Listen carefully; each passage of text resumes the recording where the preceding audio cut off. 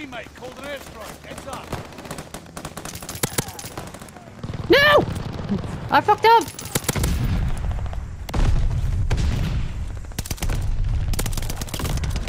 Uh, I tried to kill the guy with the pistol because I didn't think I had enough AR ammo, and no, actually, surprisingly, no. I actually killed three of them. What the fuck? What the fuck just killed me? what?